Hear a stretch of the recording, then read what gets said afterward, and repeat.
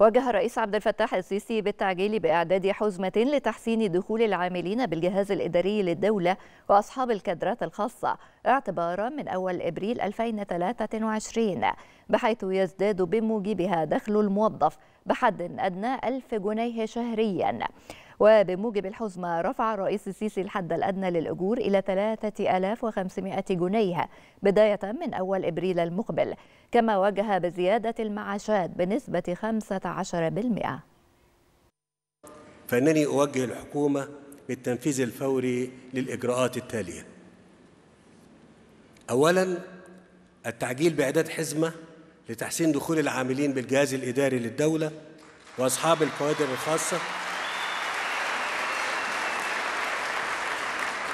اعتبارا من أول إبريل 2023 بحيث يزداد بموجبها طب أقول لكم بس الكلام عشان هتسقفوا ولا ما تسقفوش؟ طيب بحيث يزداد بموجبها دخل الموظف بحد أدنى ألف جنيه شهريا. ثانيا ثانيا زيادة الحد الأدنى للأجور للعاملين بالدولة وذلك على النحو التالي.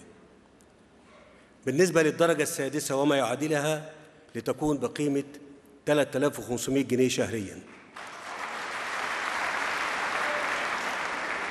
بالنسبة للدرجة الثالثة النوعية وما يعادلها لتكون بقيمة 5000 جنيه شهريا.